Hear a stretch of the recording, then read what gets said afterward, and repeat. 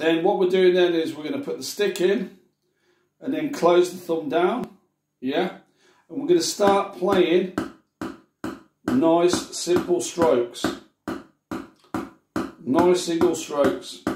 You can count it in one, two, three, four, five, six, seven, eight. One, two, three, four, six, seven, eight. One, two, three, four, five, six, seven, eight. One, two, three, four, five, six, seven, eight. Okay?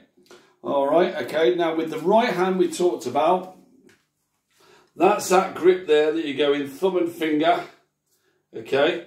And we're looking at two fingers around the stick. So there again, thumb and finger, and then two fingers around the stick. That opens the fulcrum up there. To practice that, put the stick in between that. So that should slide very, very simple, go right away through the hand, yeah? Okay.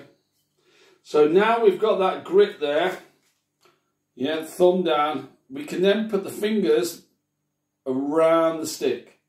Yeah, into that position there.